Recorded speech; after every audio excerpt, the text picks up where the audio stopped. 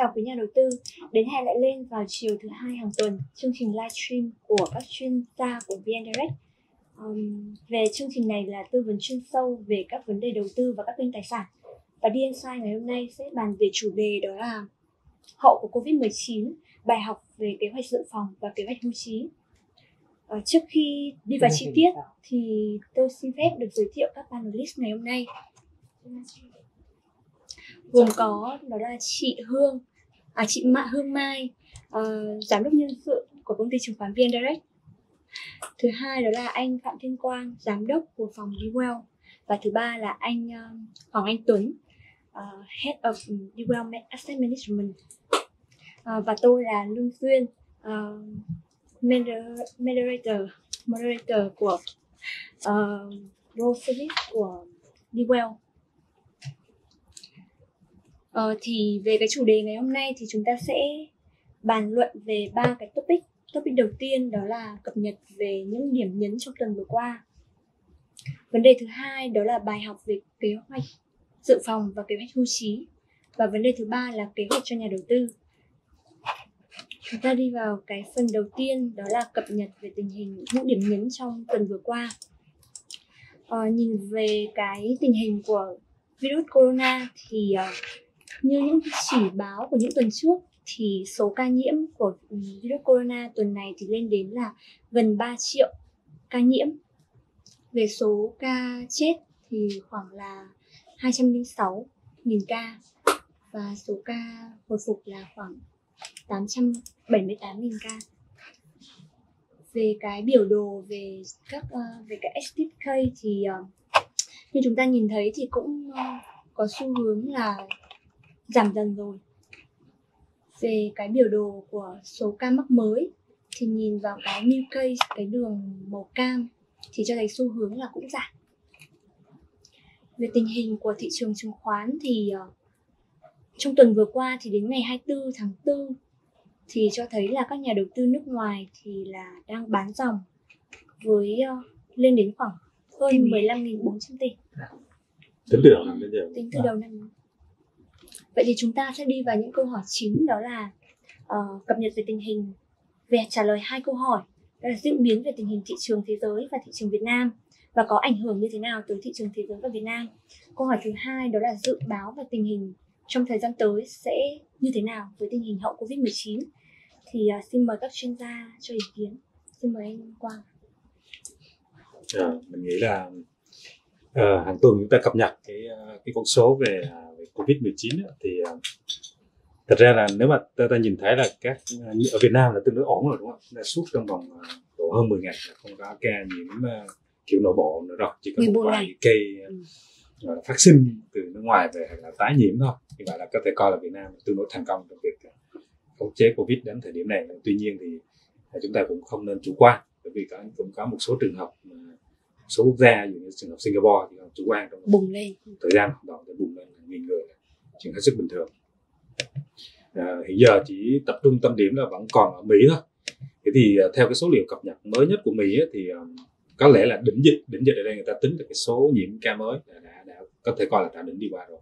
Nhưng nếu mà chúng ta nhìn kỹ cái, cái đồ thị um, nếu mọi người nhìn trên cái cái worldometer thống kê thì uh, hai cái chỉ báo là daily new case tức là cái số nhiễm uh, mới hàng ngày ở Mỹ vẫn vẫn ở con số rất cao. Hàng ngày có thêm độ khoảng đâu đó trên 20.000 ca nhiễm mới. Số người chết uh, số các ca chết vẫn còn ở mức uh, tương đối nghiêm trọng. Từ cách đây cách đây mấy ngày thì hàng, hàng ngày có ngày có còn thêm độ 2.000 người chết uh, từ cái bệnh này. Thì đây đây cũng là cái vấn đề mà mà, mà rõ ràng là nước Mỹ không không thể chủ quan được chúng ta thấy gần đây mà khi mà bắt đầu thấy tình hình cái ổn hơn chút là người Mỹ bắt đầu đổ xô ra các cái bãi biển thì nếu mà vấn đề mà vẫn còn tiếp tục chủ quan thì hoàn toàn có thể rất là nghiêm trọng. Thì đó là chúng ta cập nhật lại à, một vài cái à, số liệu covid trong thời gian này. Thế còn về thị trường thì à, cũng tương tự như cái số của tuần trước. Các chuyên gia cũng đã đưa ra nhận định là từ cái vùng đấy hồi phục lên đến lúc này là thị trường Việt Nam đã hồi phục khoảng 20 trăm rồi. Tức là nếu mà xét trong khía cạnh ngắn hạn thì có thể coi là cái tương quan giữa upside và downside tức là cơ hội và rủi ro ở vùng này. Ờ, đối với các nhà đầu tư ngắn ngắn hạn là, là cũng không phải là quá hấp dẫn để mà chúng ta có thể um, mua đuổi. Cho nên những nhà đầu tư đặc biệt là những nhà đầu tư mới mà chúng ta mới lần đầu tham gia vào thị trường chưa có nhiều kiến thức thì chúng ta cũng nên à, bình tĩnh đúng không ạ? Còn xét về mặt dài hạn thì cá nhân mình mình hoàn toàn à, hoàn toàn rất là lạc quan với à, với nền kinh tế cũng như là thị trường chứng khoán Việt Nam rõ ràng kinh tế Việt Nam của mình, cho dù là có bị ảnh hưởng bởi Covid 19 ờ, đâu đó trong ngắn hạn, nhưng mà chúng ta vẫn có niềm tin rất lớn 10 15 năm tới thì đây vẫn là một đất nước tuyệt vời, tăng trưởng ờ, là không không có vấn đề gì cả đó. còn lại thì nhìn ở một khía cạnh khác thì ờ, covid 19 cũng cũng có cái mặt tích cực của nó ví dụ xét trên bình diện quốc tế thì chúng ta biết là ngay trước covid 19 đúng không thì chiến tranh thương mại Trung Mỹ thì các nước đã bắt đầu nhìn đến công thức Trung Quốc cộng một rồi. Ừ. thì sau covid 19 nữa thì người ta lại càng nhận ra là người ta không thể phụ thuộc vào mỗi cái công xưởng thế giới là Trung Quốc nữa, đúng không? cho nên chúng ta hoàn toàn thể tự tin rằng là cái dòng vốn FDI sẽ tìm ở Việt Nam trong thời gian tới ừ, đó là một cái cái um, cái catalyst thêm cho chúng ta.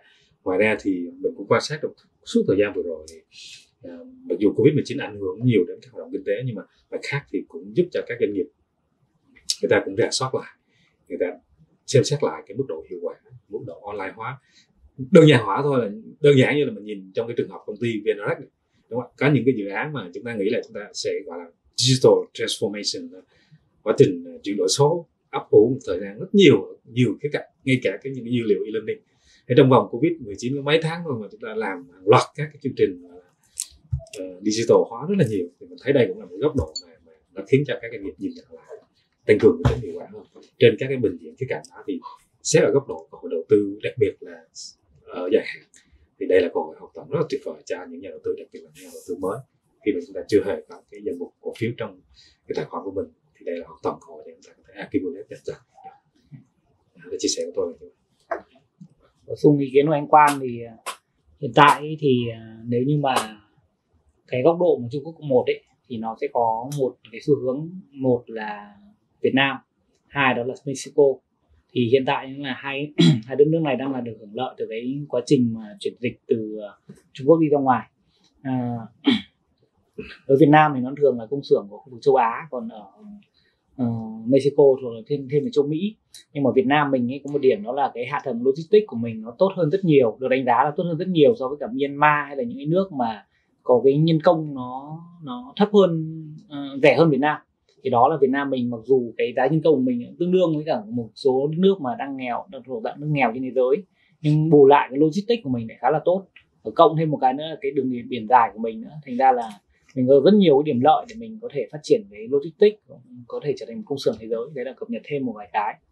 Thứ hai đó là uh, khi mà tiếp theo ý anh quang tức là chúng ta đang digitalize tất cả mọi thứ thì rõ ràng sau đợt này chúng ta sẽ thấy là một số ngành kinh doanh nó bị à, đi xuống và đồng thời với đó là một số ngành kinh doanh khác nó sẽ đi lên. Và cái xu hướng đấy là xu hướng online hóa. Ví dụ như là trước đây là chưa bao giờ mọi người đi mua hàng bách hóa mà kiểu như là mua online thì bây giờ đã bắt đầu mua online. Ví dụ như thế. Hay là trước đây là mọi người hay đến giao dịch chứng khoán chẳng hạn thì bây giờ mọi người bắt đầu có thể giao dịch trên à, bảng điện tử. Vân như thế thì mình sẽ thấy rằng là cái sự chuyển đổi uh, chuyển đổi nó rất là nhanh. Và như thế thì uh, trong trong mi luôn có cơ tức là trong cái cái, cái cái cái hiện tại là nó đang bị rất đau đau đau chen như thế nhưng lại xuất hiện một số ngành khác đang đang phục hồi trở lên. Ví dụ thế như thương mại điện tử chẳng hạn. Thì đấy là tôi nghĩ rằng tôi luôn luôn nhìn về mặt tích cực là chúng ta sẽ nhìn thấy một số ngành kinh doanh sẽ đi lên. À, đương nhiên sẽ có một số ngành kinh doanh thì chết đi. Đấy là hiện tượng như vậy thì uh, qua những lời của hai chuyên gia thì uh, trong cái quá trình thị trường như này covid hậu covid 19 thì uh, tâm điểm ở Việt Nam thì tương đối là thành công trong việc khắc phục cái tình trạng covid 19 nhưng tuy nhiên thì ở Mỹ thì các ca chết vẫn còn tương đối là nghiêm trọng. Và về xét về khía cạnh đầu tư thì nếu như mà trong thời gian ngắn hạn thì có thể là mọi người vẫn ờ, còn e dè một chút. Nhưng nếu trong dài hạn thì mọi người đây có thể là thời điểm khá là tốt để cho mọi người có thể ờ, xem xét để lựa chọn cái danh mục của mình cho những nhà đầu tư mới. Và còn ảnh hưởng đến kinh tế thì uh, trong cái quá trình cô hậu uh, covid vừa rồi thì cũng giúp cho uh, mọi người đã chuyển hướng theo hướng là online hóa. Vậy thì chúng ta sẽ đi vào cái phần uh, chính của ngày hôm nay. Đó là về topic thứ hai là về bài học về kế hoạch dự phòng và kế hoạch hưu trí. Thì uh, đây là một số những cái hình ảnh mà trong thời gian Covid-19 thì như chúng ta nhìn thấy thì các doanh nghiệp bị ảnh hưởng khá là nhiều, thậm chí là có thể sẽ phải đóng cửa phá sản. và các hàng quán thì đóng cửa hết uh, ngoài ra thì ở trên thế giới thì hay là cả ở Việt Nam thì rất là nhiều người bị thất nghiệp và không có việc làm. Thậm chí là uh, không có khoản tiết kiệm để có thể dự phòng cho cái trong cái thời gian mà mất việc này. Vậy thì uh, ngoài ra thì uh, có những cái câu hỏi của nhà đầu tư đó là họ không có cái kế hoạch dự phòng chính như vậy mà trong cái thời gian mà covid 19 này thì họ rất là khó khăn thì đây là trên đây là cái um, trường hợp của chị Nguyễn Mai ở thành phố Hồ Chí Minh. Thì chị Nguyễn Mai thì đang uh, nghỉ việc không lương vô thời hạn covid 19 thì chị có chị có khoảng 30 triệu với toàn bộ cái số tiền tiết kiệm của chị Nguyễn Mai. Và chị Nguyễn Mai đang muốn hỏi là liệu có rút cái khoản, toàn bộ cái khoản tiền đó ra để kinh doanh hay không? Ngoài ra thì có thêm một trường hợp nữa của chị Thanh Nhàn. Thì chị Thanh Nhàn cũng bị giảm thu nhập trong cái khoảng thời gian Covid-19 này thì đó là một cái vấn đề mà đáng để chúng ta phải suy ngẫm trong thời kỳ Covid-19 thì uh, các chuyên gia có thể cho ý kiến về những cái kế hoạch dự phòng hay là những cái ảnh hưởng của Covid-19 tuần vừa rồi. Xin mời chị uh, Mai ạ. Ờ, thực ra thì mình nghĩ rằng là cái uh, chắc chắn là qua đặc biệt là qua cái giai đoạn hiện nay có cái covid cho nên là mọi người sẽ phải nghĩ rất nhiều đến cái những cái khoản mà về dự phòng. Ờ, bởi vì là nếu mà chỉ nghĩ rằng là chúng ta đi làm và chúng ta đóng bảo hiểm chúng ta để sau này chúng ta hưởng lương hưu không thôi ấy, thì chắc chắn là mọi người sẽ phải nghĩ lại. Bởi vì uh, cái điều kiện mà để được hưởng lương hưu ấy thì nó sẽ có hai cái điều kiện. Cái điều kiện thứ nhất là anh phải có dự phòng dự phòng tài chính khi xảy ra rủi ro? Thì theo cái chính sách mà dự phòng tài chính ấy, thì thông thường ở bên uh, credit swap anh nhỉ là có khuyến nghị là 16 12 tháng lương. 6 12 tháng lương là sẽ đảm bảo cho ví dụ như là trong trường hợp mà mất việc hay là gia đình ốm đau gì đó thì có thể một khoản để bù cho hai trường hợp vừa nãy mà duyên vừa nói chuyện. Thì đấy là một cái kế hoạch dự phòng tài chính. Ừ. chị mai chị mai có dự phòng tài chính cho mình không? Ý là trong cái kế hoạch tài chính của chị chị có tất nhiên một tất khoản nhiên dự phòng, có. ví dụ tất nhiên thì mình cũng phải có mình cũng phải có cái cái dự phòng đấy của mình. Thông thường dự phòng của chị là chị tính ở lượng hóa ở mức bao nhiêu? Chị um, tính theo thu nhập nhé. Vâng. tính theo thu nhập thì mình dự phòng độ khoảng 20% phần trăm. cái thu nhập một năm của chị hay là một hay là hai tính theo tháng ấy. Tức là thu nhập của mình ví dụ thu nhập của, của mình là 10 triệu thì mình sẽ À. dự phòng để dự phòng là 2 triệu. Hai triệu. Ừ. cứ để vô cái quỹ dự phòng. Đúng rồi. tháng nào chị cũng để khoảng như vậy. Đúng rồi. Ờ, thế thì khổ lắm. đó chị giờ khủng lắm á nhỉ. Không tất nhiên là là ở giai đoạn này mình sẽ đưa con số là ở giai đoạn này. Bởi vì là là cái thu nhập ở cái thời điểm mà mình vừa mới đi làm nó sẽ Vâng, vâng. vừa thu lên vừa đi làm thì thu nhập nó sẽ thấp hơn. Và mình sẽ cái cái chi tiêu của mình nó sẽ nhiều hơn thì cái tỷ lệ dự phòng của mình thấp nhưng còn như ở thời điểm hiện tại thì cái dự phòng của, của mình đang tính là khoảng 20% À. cho đến điểm hiện tại ừ. thông thường thì ờ, như trong các cái, cái chuẩn mà về làm kế hoạch tài chính chị thì um, thì Wells Fargo uh, một, một Wells Fargo chẳng hạn ờ, ngân hàng của Mỹ thì người ta đề xuất là cái quỹ dự phòng tài chính của mình nó ở mức khoảng độ uh, 6 tháng lương tương đương với 6 tháng chi tiêu 6 tháng Ừ. chi tiêu của gia đình đó. Ví dụ nếu mà một gia đình chi tiêu độ khoảng 50 triệu một tháng Ừ. thì mình cần có một quỹ dự phòng khẩn cấp gấp Ừ. 6 lần lên tức là khoảng độ 300 triệu Ừ.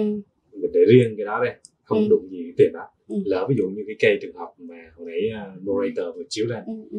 Đấy, à, khi xảy ra covid thất nghiệp thì Ừ. chúng ta có thể lấy cái quỹ dự phòng dự trữ đó Ừ. để ra tiêu và hy vọng là trong thời gian đó thì dù covid nó qua đi thì thì mình nó thuận lợi hơn là đi tìm công việc Ừ. Đấy, nhưng mà tuy nhiên thì um, từ cái góc độ của của em khi mà em làm tài chính với một số khách hàng thì mình cũng không phải là mình cứ cứng nhắc là con số 6 tháng chi tiêu Ừ. mà chúng ta phụ thuộc vào nhiều yếu tố khác ví dụ như trường hợp ta coi thì là cái khách hàng đó là cái công việc bản chất cái tính công việc của họ như nào nó có bị rủi ro trong cái nghề rủi ro lắm không Ừ. Ví dụ như cái, cái trong cái nghề tài chính của chúng ta là cái nghề mà tương đối rủi ro Đấy, thì trong những trường hợp như vậy thì mình có thể tăng cái cái con số đó lên Ừ. thay vì 6 tháng ta có thể dự phòng khoảng 12 tháng hoặc thậm chí là 10 18 tháng Đấy, thì ý là nó phụ thuộc thêm vào những cái điều kiện như vậy Ừ. đặc biệt là những người mà thông thường có cái thu nhập à, lương tháng thường xuyên ở mức cao Ừ. nhưng mà bản chất nghề của họ là nghề tương đối rủi ro Ừ. rất dễ mất việc đúng rồi thì nên dự phòng ở mức nhiều hơn đúng rồi ý là như vậy thì nếu mà ví dụ trường hợp hai cái ca vừa rồi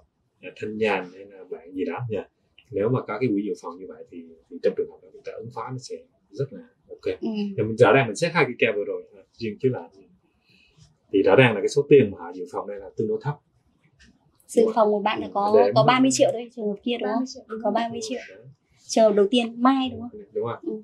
đấy số tiết kiệm của họ 30 triệu thôi thì nếu mà mình tính cái lượng chi phí như hiện nay ở thành phố Hồ Chí Minh thì con số này chắc là chỉ tương đương một tháng lương là cũng ừ. một tháng chi phí là cũng Dạ. đấy, như vậy bạn này là sẽ ở góc độ là cái kế hoạch dự phòng như, như ở đây là họ đang là tiết kiệm đấy chứ đúng không khoản tiết kiệm của họ ấy. đó tức là họ để ở dạng tiết kiệm ý là Ừ. ý là đó, đó là cái quỹ dự phòng còn họ Ừ. để ở đâu lại là câu chuyện khác Ừ, ừ. có người thì ví dụ để ở tiết kiệm ngân hàng có người thì mua quỹ Bcash Fund của Ừ, VNREX ừ. chẳng hạn Ừ. Đó.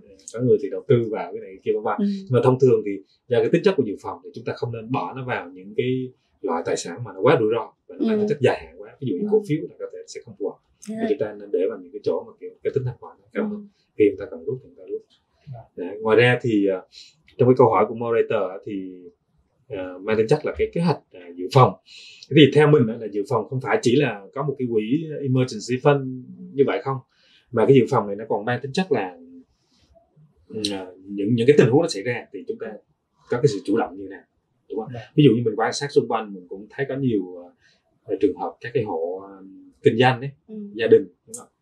mình nhớ có một cái cây là làm với nhà hàng đấy ờ, coi như là decorate cái nhà hàng nó rất là đẹp rồi ký luôn một hợp đồng dài hạn luôn bao nhiêu năm luôn đấy, trả trước một cục tiền rất lớn rồi mà trong cái điều khoản hợp đồng đó khi mà phạt thì bị số tiền phạt cực kỳ lớn Đấy, nếu mà nó xảy ra trường hợp covid như này phát ngay lập tức ở nhà đó gần như là bị phá sản luôn thế thì ý muốn nói là các cái phương án mà mình kinh doanh đấy không phải chỉ là cái chuyện quỹ dự phòng như mình vừa nói rồi Ừ. các cái phương án mình kinh doanh mình cũng phải có cái yếu tố mình ứng phó khi mà nó xảy ra những cái rủi ro kiểu như này Ừ.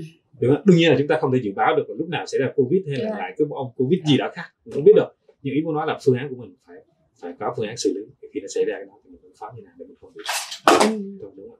Và sau cái sự vụ covid 19 này cũng có cho chúng ta một cái bài học là ừ, người ta gọi là cái, cái, cái sự vô thường á Ừ. đúng không trong cái thế giới này hoàn toàn có thể hôm nay nó đang như này ngày sau hoàn toàn ờ, khác hoàn toàn thì chúng ta phải sẵn sàng cho những đó là cái chia sẻ của Tôi xin thêm một chút ý kiến là ở đây thì chúng ta cũng nhận ra một điều là chúng ta phải đi bằng nhiều chân.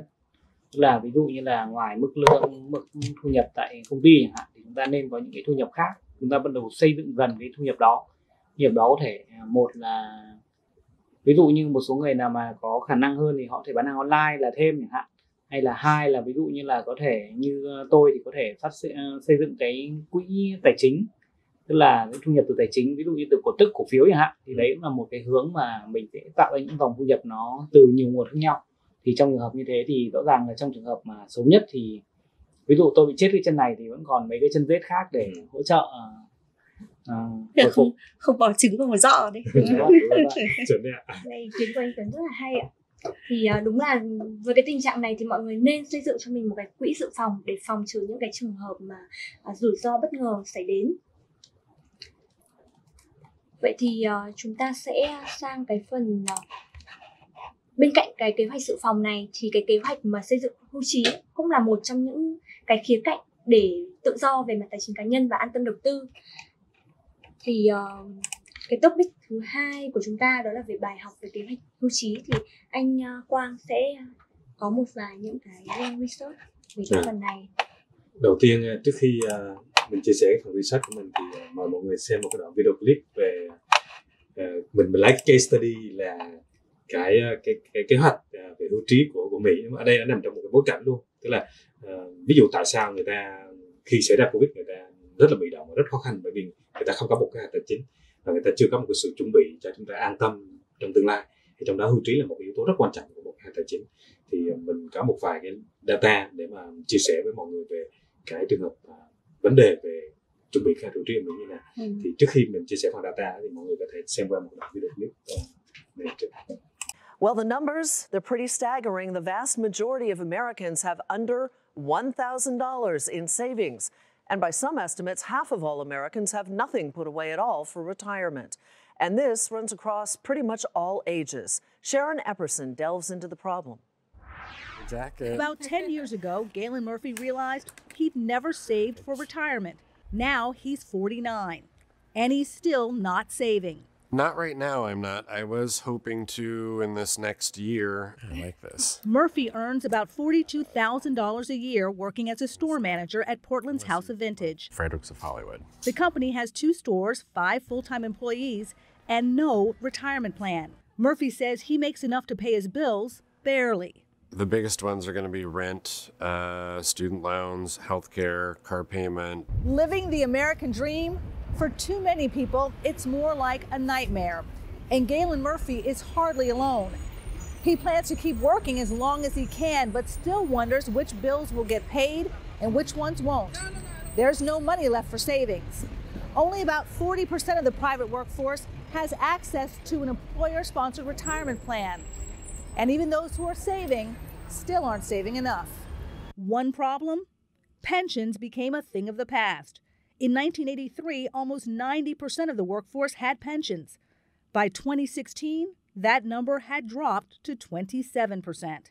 Today, 94 million Americans have retirement accounts. Yet a recent Vanguard study says the median 401k for someone aged 35 to 44 held less than $24,000 in 2016. For a 45 to 54 year old, $43,000. And for someone 65 and older, the median balance was less than $61,000. How big a problem is this? I think it's much bigger uh, than one can imagine. Ivory Johnson is a Washington, D.C. based financial advisor. The ones who have not planned are, I think, the majority. If you look at the number of uh, retirement accounts that have less than $50,000 as a percentage of people over 50, uh, it is staggering. Johnson says putting a higher priority on saving for retirement needs to start at home and continue in school. But that's not happening. Look at social media and Facebook. What are people posting? They're posting, I went on vacation. This is where I went to eat. This is where I sent my child to college. What's celebrated is not, I have a plan and I'm setting myself up for retirement. Student debt is one of the culprits. Galen Murphy, at 49, is paying about $365 a month on $62,000 of debt that's accrued since he was in graduate school more than 10 years ago. That for me is is the biggest issue. Tim Ranzetta's Next Gen Finance studied 13 million students across 11,000 high schools, finding less than 17% are required to take a personal finance course to graduate. So, he says, how could they be expected to understand how tens of thousands of dollars of debt might impact their lives? We believe all students need this sort of education in order to thrive in the future. Now approaching 50, Galen Murphy knows he'd have to give up a lot in order to improve his quality of life in the future. It's a cost that only seems to keep going up. For Nightly Business Report, I'm Sharon Epperson. Rồi mình à, mình xin chia sẻ một chút về cái à, cái câu chuyện về kế hoạch tài chính ở trong đó kế hoạch uh, cho hưu trí. Và ta lấy cái case study của Mỹ đó vì vì nước Mỹ là nước mà nền kinh tế phát triển đi trước rồi. Nó có data đầy đủ để chúng ta nghiên cứu xem cái cây nó như nào trong trường hợp Việt Nam. Khi mà dân số của mình qua cái thời kỳ dân số vàng nó trong vòng khoảng à, 10 năm tới thì câu chuyện nó sẽ như nào? Bây giờ chúng ta sẽ cùng nhìn xem. Đoạn video clip vừa rồi là một cái minh họa cho thấy là cái à, vấn đề ngay một đất nước giàu như vậy người ta gặp khó khăn về câu chuyện hưu trí của quốc gia ra sao thì mình sẽ đi ba vấn đề là một là cái thực trạng về hưu trí ở Mỹ thứ hai là tình hình liệu có thể tệ hơn nữa hay không? Và giải pháp cho vấn đề đó là gì? Sau đó là bài học cho trường hợp của Việt Nam mình như thế nào. Thì ờ, có một vài cái data. Đầu tiên là thực trạng về hưu trí của case study của nước Mỹ ha. Thì đây là một cái survey của Deloitte người ta thực hiện. Thì à, thống kê xem thử là tỷ lệ bao nhiêu người dân Mỹ thực sự có một cái kế hoạch về hưu trí ngon lành đúng không thế thì à, thống kê theo cái độ tuổi thì trong trên màn hình chúng ta có thể nhìn thấy này ở cái độ tuổi mà càng à, gọi là càng trẻ hơn một, một tía đúng không ạ? Thì cái tỷ lệ người mà thực sự nghiêm túc với cái hạt hưu trí là cực kỳ thấp luôn. Ví dụ ở trong trong đồ thị này chúng ta thấy là chỉ có 30% số người mà độ tuổi ở đây tính ra nếu mà tính 60 là về hưu đi đó thì còn 45 đúng không trẻ hơn 45 thì chỉ có 30% số người đó thực sự có cái hạt cho hưu trí thôi. Có nghĩa là có đến 70% là không hề có một cái hạt gì cho hưu trí mình cả. À, khi mà được hỏi kỹ vô thì tại sao lại không có một cái kế hoạch hưu trí một cách uh, nghiêm túc? Thì uh, có những cách trả lời ví dụ như là họ cứ nghĩ đến vấn đề đó họ thấy quá sợ hãi không dám nghĩ tới nữa. À, cũng giống như trường hợp mà lúc mà một số bạn mình ở Việt Nam ấy lúc mà giới thiệu cái app để mà thống kê chi tiêu ấy, là bảo là em vừa mới gõ vô cái đó xong em thấy kinh quá em sợ em xóa luôn không không dám nhìn được sự thật nhưng mà sợ đến mức như vậy luôn. Rồi xong rồi họ bảo là họ không có kế hoạch một cách nghiêm túc nói chung là cứ cứ lựa theo tình hình mà làm. Thế là cái từ win nghĩa là như vậy. Hoặc là có rất nhiều trường hợp họ bảo là à, còn đang có một đống nợ. Ví dụ có thể là mua car loan home loan trả còn chưa hết thì thì đây, đây chưa phải là thời điểm tập trung ờ, để tiết kiệm cho cái chuyện hưu trí vân vân. Rất nhiều cái ý tưởng đưa ra. Mình thử xem là trường hợp Việt Nam mình có tương tự vậy không. Cái thứ hai là uh, trước cái sự bất an về cái hạt hưu trí như vậy thì uh, tiếp tục cho một câu trả lời là cái lý do tại sao mà họ bị bất an người Mỹ thấy bất an về hưu trí như vậy, thì họ bảo là họ chưa save enough cái số tiền tính toán là thấy là chưa đủ để mà có một cuộc sống hưu trí an tâm được. Rồi hoặc là họ bảo là muốn làm nhưng mà cái thu nhập khả dụng, ví dụ như là do thu nhập thấp mà tiêu còn chưa đủ thì lấy đâu ra mà để có thể làm hưu trí được. Rồi cũng có đến một tỷ lệ khá là cao là bảo là bây giờ tôi tin là cho dù tôi có tiết kiệm bao nhiêu đi chăng nữa thì cái sinh lời từ cái khoản đầu tư nó cũng không thể nào đủ để lo cho hưu trí của tôi kìa. Chứng tỏ là cái sự bất an là vô cùng lớn đúng không rồi thế thì đây là những cái lý do uh, quan trọng nhất để mà tại sao họ cũng lại không có các ưu trí tiếp này phân theo từng độ tuổi đúng không ạ? Dù là họ có những cái kế hoạch ưu tiên khác của mình tài chính này hoặc là họ không hiểu là họ cần làm như nào cho các ưu trí. Đây cũng là bài học cho chúng ta.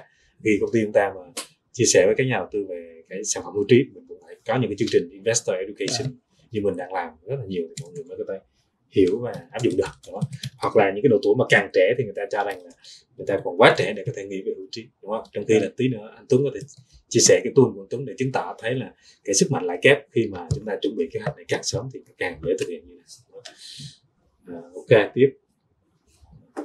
Rồi à, rồi à, thêm một cái cũng rất là quan trọng để quyết định cái chuyện là người ta có tham gia vào chương trình hữu trí và đầu tư cho cái đó hay không.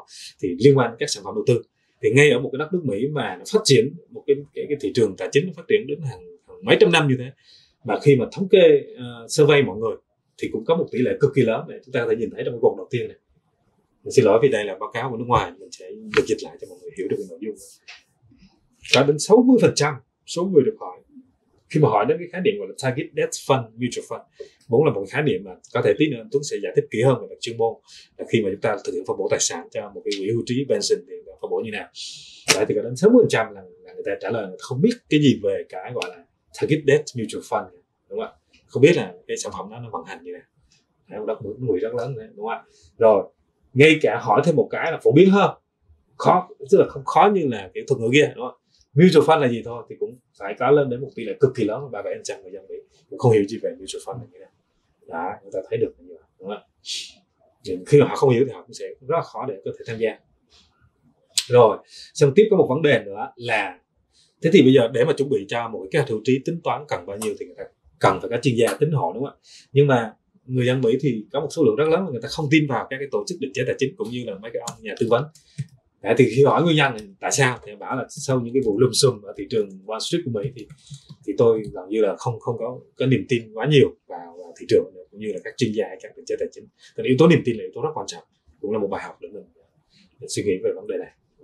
Rồi hoặc là có một ý kiến họ bảo là họ hầu như không biết cái gì về cái chuyện này hết đúng không? Mà khi mà đã không có kiến thức thì họ rất là khó để có thể tin được ai tư vấn cho họ được. Đó cũng là một vấn đề mà chúng ta cũng phải cần lưu ý thêm rồi họ còn cho rằng là các cái quảng cáo là phần lớn là chuyên môn đi lừa người khác.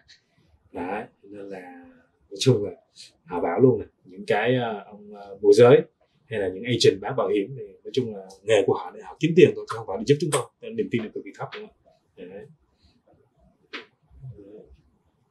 rồi, thế thì bây giờ là hỏi lại, thì tóm lại là người dân mỹ, người tiêu dùng thì họ họ tin vào ai? Họ tin vào ai để mà có thể dẫn dắt họ về cái hạt hữu trí? Thì chúng ta nhìn điều rất ngạc nhiên họ tin vào bạn bè và những người thân trong gia đình là cái nguồn mà ừ. refer được coi là đáng tin cậy nhất đối với họ. Tiếp đến là banh tiếp đến là công ty quản lý quỹ. Đấy. đấy banh là ít nhất là nơi mà họ thấy có tiền ừ. đúng không đấy. hoặc là những ông uh, gọi là tư vấn đầu tư hoặc là các cái uh, nhà môi giới. Và những financial advisor thì cũng chỉ có tỷ lệ cũng thấp ở 15 phần trăm. Đạt được số tin tin cậy thôi. Rồi và nói chung họ cũng bảo là do họ thiếu kiến thức về cái chuyện là um, quỹ hưu trí như nào các hưu trí như nào. Cho nên là uh, họ sợ là họ có thể là thành đối tượng để mà các cái công ty định chế tài chính thì các cá nhân lợi dụng họ kiếm tiền thôi chứ không không thực sự là giúp họ được khi mà họ không có kiến thức về phần này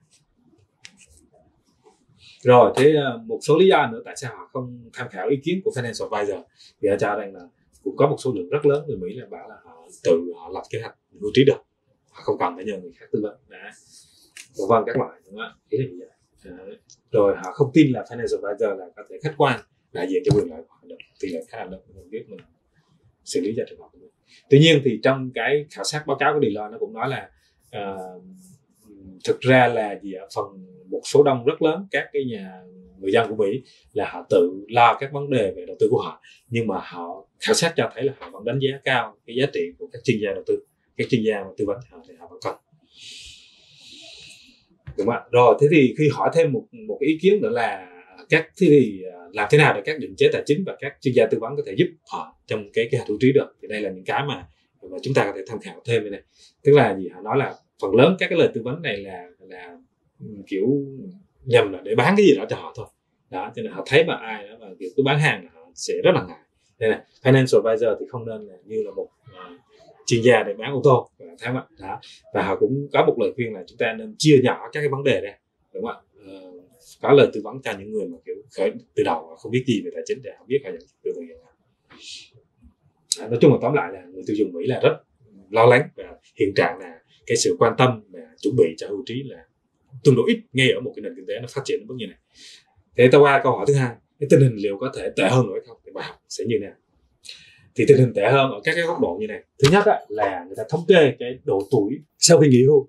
Đúng không ạ? Người ta nhìn theo thời gian này ngày xưa ở thời kỳ những cái thập niên 60 70 tí nữa ta sẽ refer sang tình trạng của Việt Nam có phải tương tự như vậy không nhé? Thì sau khi nghỉ hưu về người ta sống thêm độ trung bình khoảng 13 năm nữa thôi. Do là tuổi thọ lúc đó có thể thấp hơn y tế nó chưa được tốt.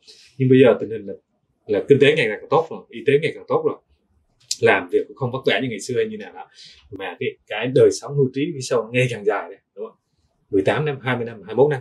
Có nghĩa là trung bình ví dụ như là người dân Mỹ về hưu năm 60 64 tuổi chẳng hạn thì họ phải sống thêm đến 21 năm nữa. Thành 80 mấy gần 90 tuổi cha nên đó là một cái, cái, cái áp lực về mặt tài chính cho đời sống hưu ngày càng dài à, đây và cái tuổi thọ trung bình này tức là một người về hưu năm 65 thì sống thêm được bao nhiêu năm? Thì đây đây thống kê này ngày càng về sau này là tuổi thọ càng dài. Đối với nam là còn ở mỹ là còn 20 năm nữ là khoảng độ thậm chí còn sống lâu hơn ừ. của mỹ hả? Vâng ở mỹ việt nam thì em nghĩ cũng phải tầm xem xem số gì rồi và thêm một cái vấn đề nữa nhé đấy là thời gian về hưu dài hơn rồi nhé tuổi thọ sống lâu hơn nhé và cái chi phí cũng ngày càng áp lực tăng hơn. Đây ta xem ngày xưa này những năm kiểu 85 cái đường màu đen ở trên là là được thu nhập trung bình của một người đàn ông ở Mỹ. Và dưới là các cái chi phí đó chi. chi phí chia theo cho nhà ở này cho y tế này cho giao thông đi lại này và cho học hành chi phí. À, ngày xưa là cái độ vên của nó tương đối cao và bây giờ ta cảm thấy càng ngày càng ngày cái ghép nó càng lớn coi như là không một người đàn ông đi làm chỉ đủ để cover chi phí này thôi không. Và trong đó đặc biệt là chi phí y tế người ta nhìn thấy mà health insurance ngày càng tăng lên rất nhiều. Tiền nhà thì các loại. Rồi trong khi đó cái return đầu tư thì nước Mỹ nó lại giảm xuống. Ở Việt Nam thì mình thì cũng rất là may mắn là chúng ta vẫn còn là nền kinh tế tăng trưởng. Thì nó chưa đến mức như này nhưng mà một khi mà vài năm nữa mà kinh tế của mình mà mature hơn đúng không? Bảo hòa hơn thì rất có thể là cái lãi suất nó cũng sẽ không thể duy trì lãi suất tiết kiệm cao như bây giờ cái áp lực cũng sẽ lại ngày càng lớn. À, rồi à, thế thì trong đó thực trạng thêm một chút thì cái sự chuẩn bị của người dân Mỹ là gì ạ? Đây cho ta xem này thống kê luôn cái tỷ lệ mà saving tức là có cái tiết kiệm. Một đất nước giàu như thế mà ta nhìn vào xem có đến 45% người dân Mỹ là không hề có một đồng saving nào sống paycheck to paycheck từ cái tháng nào xài tháng đó.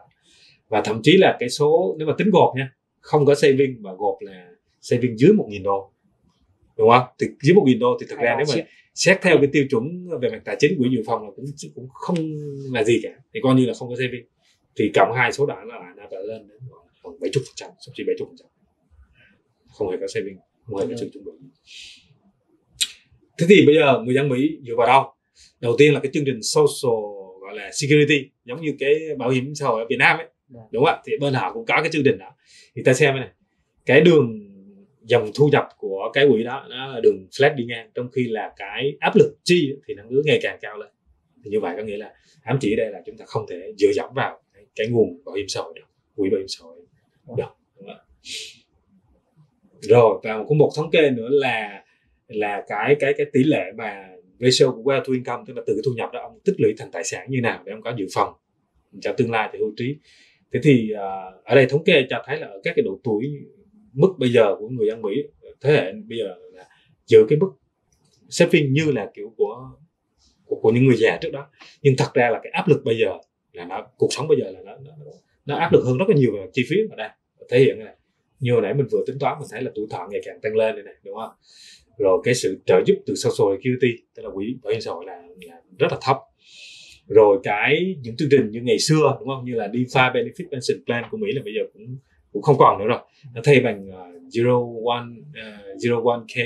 Uh, nhưng mà cái này thì người ta cũng tính toán luôn nó chả thâm thấp ở đâu nó cũng rất là ít đúng không ạ? Chi phí y tế thì ngày càng tăng lên mặt bằng lãi suất thì ngày càng giảm. Đấy, cho thấy là áp lực cực kỳ lớn luôn. Ở Mỹ người ta có tính toán một cái con số nó gọi là National Retirement Risk Index tức là cái nguy cơ rủi ro về cái chuyện là sẽ không đáp ứng được cái vấn đề về hưu trí cho người dân Mỹ thì cái tỷ lệ là mức cực kỳ cao đúng không? trên 50 trăm rồi thế thì từ cái thực trạng như này như này thì có thể làm gì được? Thì ở đây là người ta à, có một cái khuyến nghị cho người dân Mỹ để có thể có cái giải pháp thì chúng ta cũng có thể coi như đây cái đề bài học cho Việt Nam nếu mà chúng ta trí đường ta áp dụng tại sản xuất trường như này thì thứ nhất là có thể cân nhắc về việc kéo dài thời gian làm việc. Thì cái này thì tí nữa ý kiến chuyên môn của chị Mai về luật này kia thì chị cũng có thể cho ý kiến thêm. Nếu mà áp dụng ở Việt Nam thì có áp dụng được không nhé? Kéo dài thời gian làm việc à, cụ thể hơn là gì ạ? Để mà làm được việc này là phải có một kế hoạch tài chính tổng thể này rồi liên tục nâng cao kỹ năng để đáp ứng được cái yêu cầu công việc. Nếu không là ông về già rồi thì thông thường người tuyển dụng họ sẽ ít có cái động cơ họ sử dụng không thì như thế nào. Rồi à, trong này cũng khuyến nghị luôn là nên trao đổi với employer tức là công ty của mình ấy, để người ta biết cái cái nhu cầu kế hoạch của mình là mình mặc dù là mình muốn tới tuổi về hưu rồi nhưng mình muốn làm tiếp thì như nào để họ biết họ có thể uh, cân nhắc tại điều kiện chẳng hạn rồi phải giữ sức khỏe tốt thì mới có thể làm việc lâu hơn được đúng không? Chứ không mà chưa gì mấy đã rệu rã rồi thì làm sao làm được nữa. Rồi à, giải pháp thứ hai là phải tăng ngay lập tức tỷ lệ tiết kiệm. Đấy, thì thực ra là cái này thì ai cũng mong muốn đấy, nhưng mà thực tế áp dụng thì cực kỳ khó. À, tăng tỷ lệ tiết kiệm được thì yếu tố kỷ luật là yếu tố rất quan trọng. Và người ta cũng khuyến nghị luôn là tốt nhất là chúng ta nên thực hiện theo các cái chương trình tự động đúng không? Các chương trình theo một chương trình gì đó cũng tự động thì nó mới sản xuất ra thì cao hơn. Thứ ba là chúng ta không nên dựa dẫm vào các cái nguồn như bảo hiểm xã hội cái này kia mà nên là chủ động thực hiện các hưu trí. Ừ. ngay lập tức tham gia vào chương trình tích sản hưu trí định kỳ ví dụ như là sản phẩm uh, tích sản hưu trí của Vinrad chẳng hạn hay là chúng ta phải đầu tư khôn ngoan để không bị uh, bị bị, bị lỗi lầm trong đó. Rồi sử dụng cái home equity của mình ví dụ như trong trường hợp mà ông về hưu rồi thì ông không cần nhu cầu ở một cái nhà nó quá sang trọng nữa thì ông có thể đổi nó sang một cái nhà nó khiêm tốn hơn để dành cái tiền còn lại đưa vô cái quỹ đầu tư thì nó sẽ có dòng tiền tốt hơn à, đó là bốn cái giải pháp để mà chúng ta có thể làm được khắc phục tình hình như này Đấy, thì bây giờ nếu mà ta liên hệ sang uh, áp dụng vào trường hợp Việt Nam đi ha. Thì Việt Nam uh, là cái mô hình uh, uh, cái chi tiêu chi tiêu mà sau khi nghỉ hưu đúng không? ngày xưa thì thông thường người ta hay nói là lúc về hưu mình sẽ tiêu ít hơn. Nhưng bây giờ khi mà người ta nhìn lại là thấy rất nhiều cụ già là về hưu là bắt đầu đi chu du khắp nơi trên thế giới à, đi do du lịch này kia nhiều lắm. Chính vì thế mà cái mô hình này nó sửa lại tí là cái đường chi phí nó lại nó lại đổi lên. Đó là một vấn đề mà chúng ta cũng phải cân nhắc uh, trong quá trình hoạch định cái uh, cái tài chính. Đây là một số câu hỏi mà, mà tí nữa chúng ta cũng có thể cùng suy nghĩ cùng với nhau như thế nào về chế độ bảo hiểm tiền hưu tí nữa moderator sẽ dẫn phần này sau. Mình không uh, nhắc lại các cái vấn đề như này. Rồi cái này thì chắc là tí nữa để ta thảo luận thêm sau thôi ở đây là có thêm một cái câu hỏi là cần bao nhiêu tiền để nghỉ hưu thì tí nữa có thể anh Tuấn sẽ, hay là chị Mai để chia sẻ thêm. Nhưng đây là một cái mô hình nước ngoài nó có thống kê khuyến nghị có mấy cách. Một là như Fidelity thì người ta đưa ra khuyến nghị là ờ, nếu mà chúng ta tích lũy được một cái danh mục đầu tư mình nó có giá trị gấp khoảng 10 lần cái thu nhập trước cái thời điểm mình nghỉ hưu. Ví dụ như chẳng hạn như là chị Mai là thời điểm trước nghỉ hưu là thu nhập của chị một năm là một tỷ đi.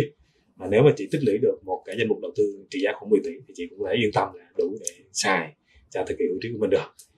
Hoặc là theo cái cách là gì làm sao mà uh, khi mình về hưu mà cái danh mục đầu tư của mình nó có thể tạo ra một cái dòng thu nhập tương đương với khoảng độ 60 đến 75 phần trăm cái thu nhập thường xuyên lúc mình còn đi làm thì cũng có thể an tâm nghỉ hưu được.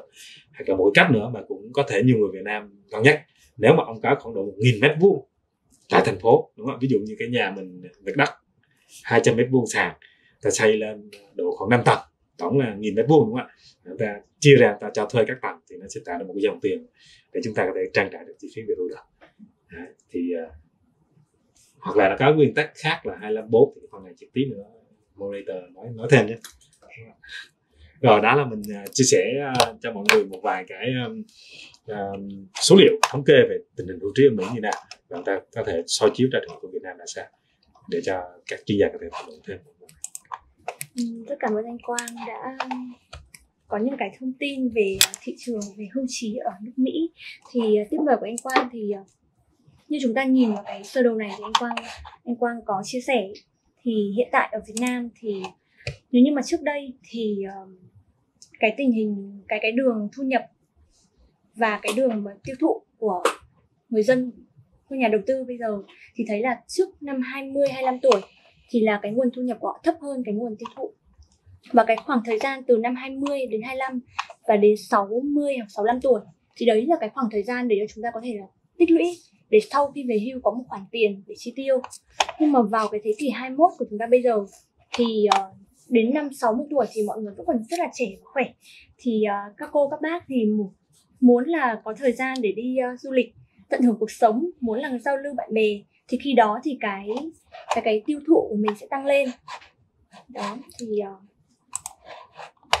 vậy thì uh, anh Tuấn có thể cho thêm những cái ý kiến của anh về cái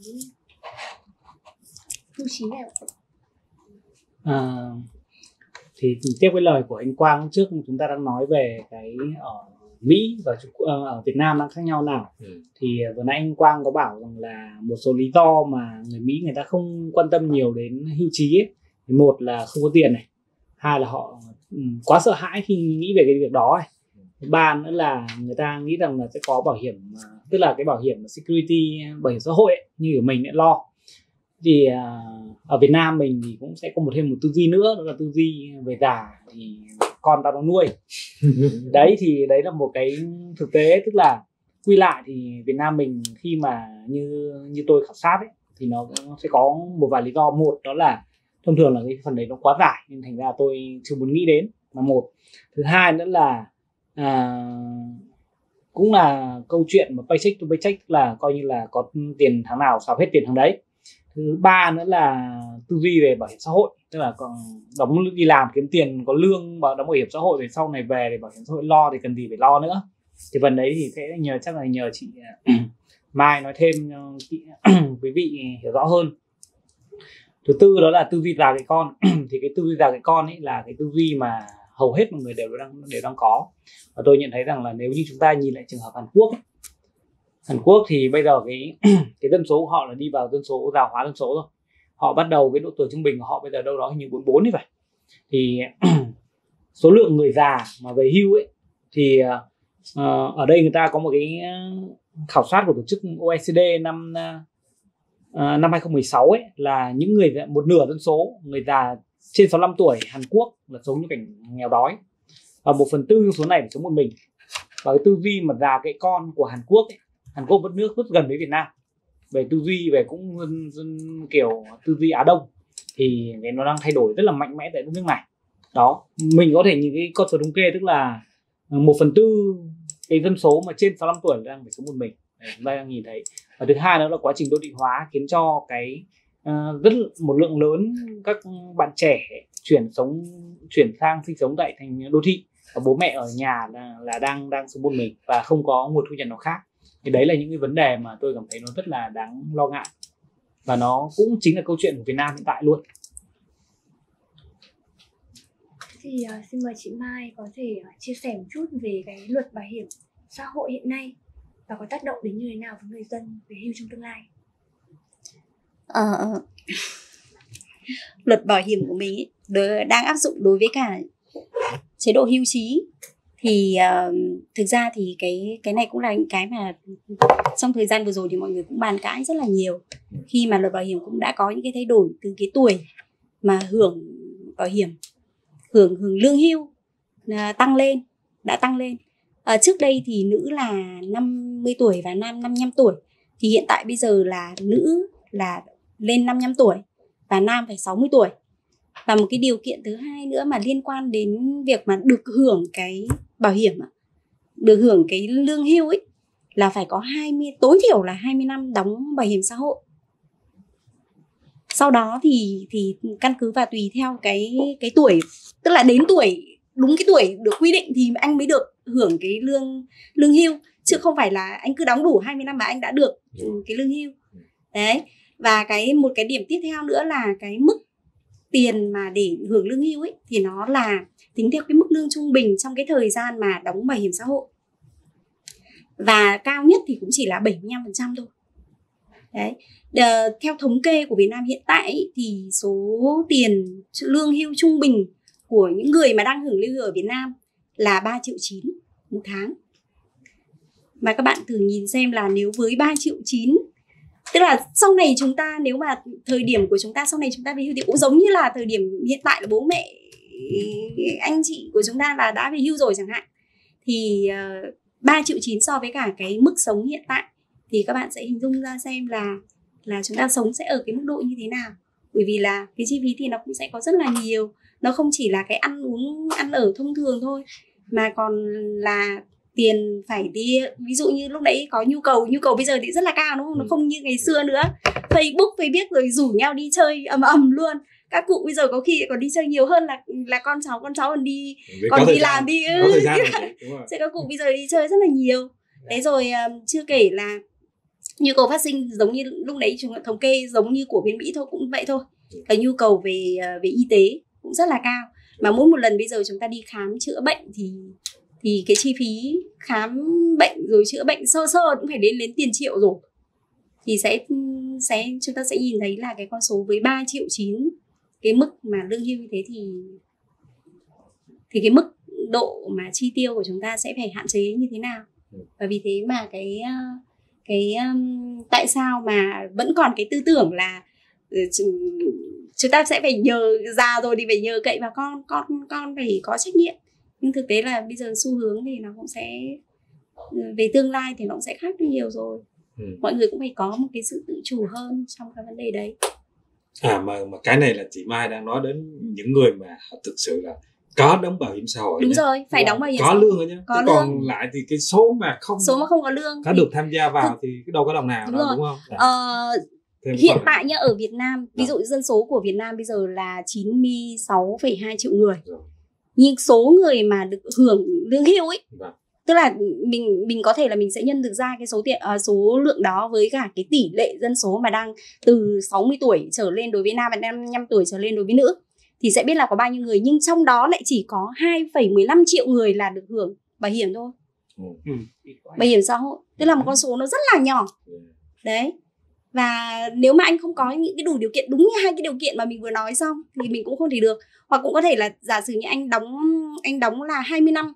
Nhưng mà ví dụ như đối với nam thì 18 năm và nữ là 10 15 năm thì bắt đầu là từ 45% cái mức được, mức lương tổng, mức lương trung bình mà mình đóng bảo hiểm ấy, với hưởng và mỗi năm cộng theo thì có 2%. Như vậy là để mà đạt được là 75% tức là cái mức tối đa được hưởng cái lương hưu ấy, thì anh phải có đến 30 năm. Tầm 30 năm anh phải đóng bảo hiểm xã hội. Đấy là cái con số mà cũng cũng gọi là đưa ra để cho mọi người cũng có thêm những cái suy nghĩ ừ. cho cái kế hoạch của mình, lưu trí của mình. hoảng sợ đấy nhỉ và như như như mình được biết thì là Việt Nam bây giờ cũng đang đang đang có xu hướng là ngoài cái gọi là bảo hiểm bắt buộc đấy thì gọi là bảo hiểm xã hội hóa và bảo hiểm tự nguyện tức là cái chế độ hưu trí thực ra không phải là bảo hiểm mà chế độ hưu trí. Chuyển sang chúng ta phải chuyển sang cái bước đó. Bởi vì là ngay bản thân nhà nước cũng không thể nào mà cover được toàn bộ cái số lượng dân số như thế. Và trong khi đó tỷ lệ già hóa thì cũng rất là cao. Về cái chuyện mà mà hồi nãy à, anh Tuấn cũng như là chị Mai nhắc đến cái chuyện là bố mẹ Việt Nam mà kiểu về già dựa vào con ấy thì thật ra là nếu mà mình lấy cái trường hợp của Hàn Quốc đi nó không có đi qua rồi mình sẽ thấy là nếu mà tâm lý nó sẽ để lại hậu quả như nào tức là khi mà cái nền kinh tế nó vẫn còn tăng trưởng tốt tức là cái cơ hội công an việc làm của những đứa con nó tốt đúng không ạ? Ví dụ bây giờ thế là chúng ta này chúng ta còn có công an việc làm. Nhưng mà rồi đây khi mà nền kinh tế nó vào cái giai đoạn mà nó gọi là nó bão hòa hơn ấy, cái cơ hội nó không còn tăng trưởng nhiều nữa thì Hàn Quốc đã đi qua cái đó rồi. Vâng. thì Việt Nam mình rồi chắc cũng sẽ tới lúc đó thôi đúng không ạ? Thì, thì vâng. lúc đó các con là nó phải lo cho nó nó cũng rất vất vả về công việc rồi lo cho gia đình nữa. Nếu mà bố mẹ lúc đó mà không tự lo được cho mình về ưu trí thì lại thành là gánh nặng cho con ừ, bổ sung thêm là bây giờ ở Việt Nam thì cũng có một số các cái nhà gọi là nhà dưỡng lão. Cũng đã có nhà dưỡng lão rồi.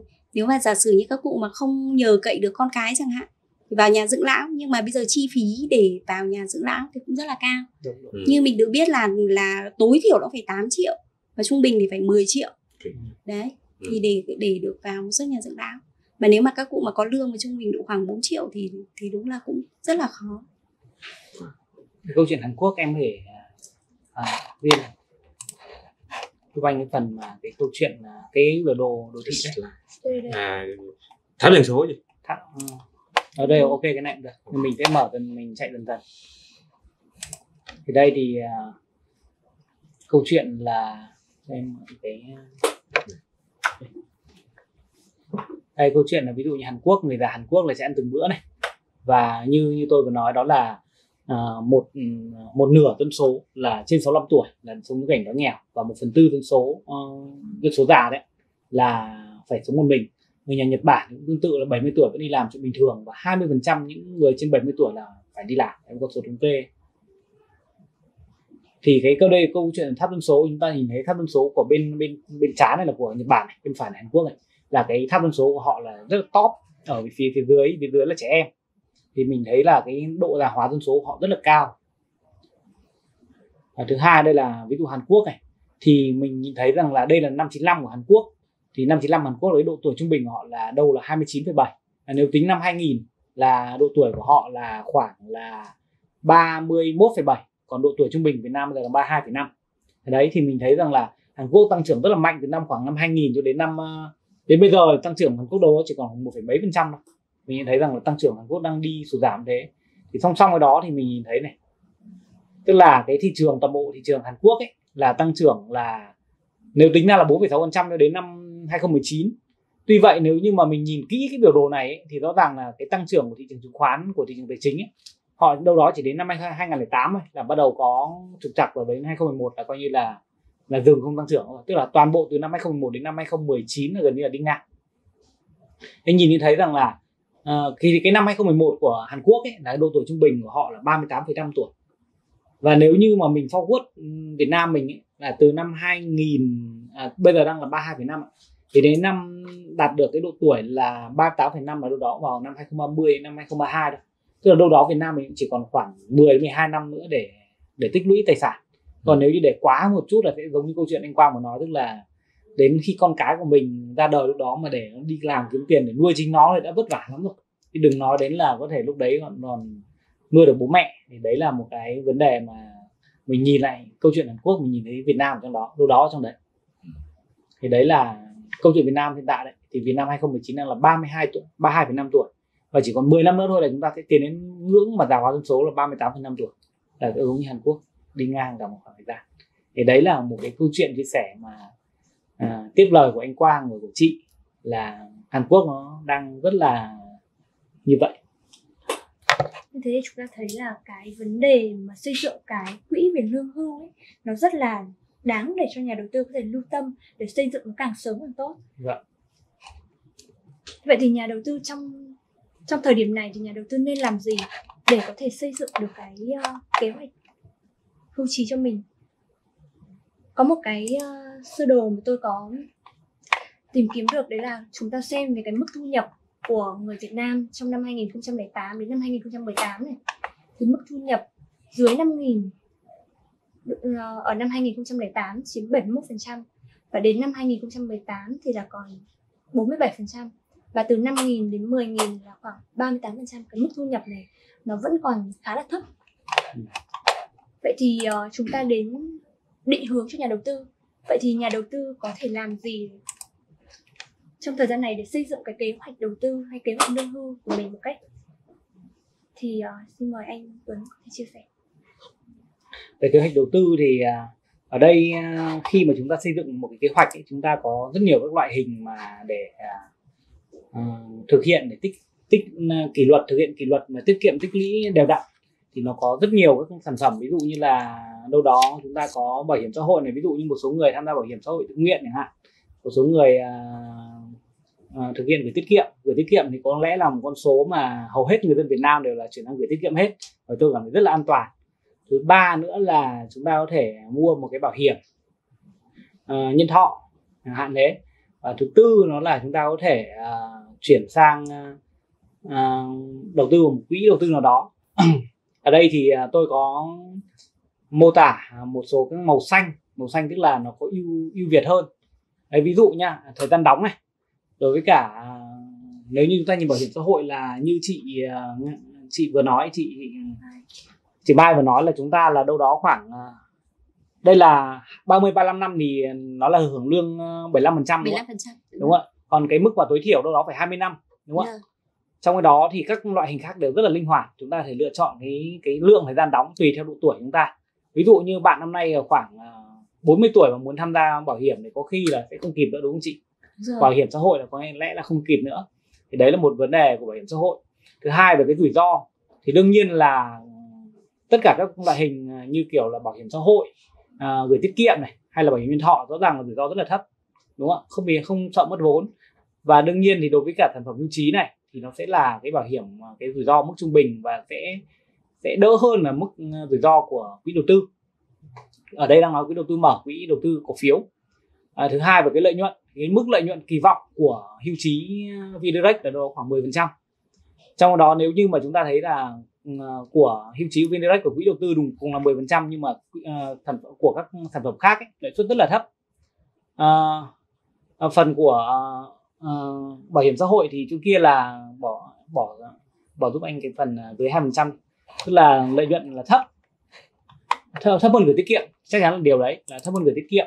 Và lợi suất kỳ vọng của bảo gửi tiết kiệm đâu đó 7% và lợi suất của bảo hiểm nhân thọ chỉ từ 20 thôi tùy theo dòng sản phẩm. Đó. À, tí nữa chúng tôi sẽ nói rõ hơn là khi mà cái lợi suất nó chỉ chênh nhau khoảng 1% đến hai phần trăm thôi thì nhìn trong khoảng thời gian 20 năm hay 30 năm nó cũng có số rất là lớn thì tí nữa tôi sẽ mô tả để quý vị ở đây cùng cùng à, xem thêm về chuyển giao thừa kế này thì chúng ta nhìn thấy rằng là nếu như bảo hiểm xã hội uh, tôi đóng bảo hiểm xã hội khoảng 65 tuổi mà đến 70 tuổi tôi bị uh, vì một lý do đó mà chẳng may bị tôi bị qua đời thì rõ ràng tôi mới được hưởng 5 năm nữa nhưng mà uh, năm hay 10 năm. Vâng nhưng mà toàn bộ số tiền đó thì nó sẽ được quay lại về về chính phủ về về xã hội. Trong cái đó thì cái phần tiền mà chúng ta đóng ở các các quỹ khác ấy, chúng ta cái phần đấy đã được chuyển ra cho người thực tế đó là một cái ý nghĩa rất là nhân văn nhân nhân văn của các sản phẩm khác rồi nó thêm về cá nhân. Đó và thứ hai nó bây giờ rút tiền. Chẳng hạn như thì chúng ta thấy bảo hiểm xã hội và bảo hiểm nhân thọ là rõ ràng rất khó để rút tiền. Ví dụ lúc ấy có nhu cầu mà con muốn uh, tức là mình có nhu cầu làm việc gì đó thì ờ, hoàn toàn rất khó đối với bảo hiểm xã hội bảo hiểm nhân thọ. Về minh bạch tài sản đầu tư thì rõ ràng là hưu trí vn direct đầu tư luôn trên tài khoản khách hàng rất là dễ nhìn thấy và nó tương đương với gửi tiết kiệm. Tiết kiệm là mình nhìn thấy luôn tài khoản mình có bao nhiêu tiền đang đầu tư vào đâu ví dụ thế. Và cuối cùng là hình thức đầu tư thì à, rõ ràng là theo như thế thì hưu trí VNdirect là đang theo dạng ủy quyền tức là trên tài khoản khách hàng luôn. Trong đó là trên gửi tiết kiệm cũng là tức là hai thứ rất là minh bạch tức là hình thức nó rất là rõ ràng. Thì đấy thì tôi nhìn tổng quan một chút về các các loại hình ý, thì quý vị có thể lựa chọn các loại hình này. Có năm loại hình à, đầu tư này. Cùng với đó thì uh, về cái mức uh, lợi suất ấy, ví dụ như chúng ta tranh giữa 10% và 7% nó là con số rất là lớn. Uh, viên có thể giúp anh uh, mình nhìn qua một chút cái đúng rồi cái tích sản. Kéo lại kéo lại phát này ra. Exit rồi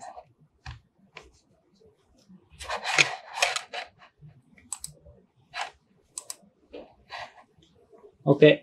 Thì ở đây uh, giả sử như là lập kế hoạch ví dụ uh, tôi năm nay 30 tuổi tôi đến 60 tuổi này và tôi dự kiến là đến uh, lập kế hoạch lập kế hoạch đến năm 90 tuổi tức là uh, 60 tuổi bắt đầu nghỉ hưu và chúng ta sẽ sống dự kiến là ít nhất 30 30 năm nữa.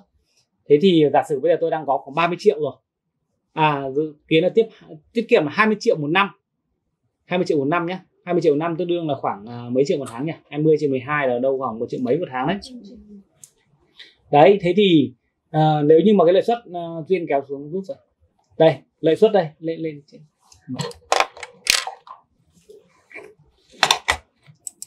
đây giả sử lợi suất của chúng ta đây đang là khoảng 10 phần trăm thôi thì cái lúc mà về nghỉ hưu đây hay là giả sử năm 60 tuổi nghỉ hưu đây thì là có 7 tỷ đúng không ạ?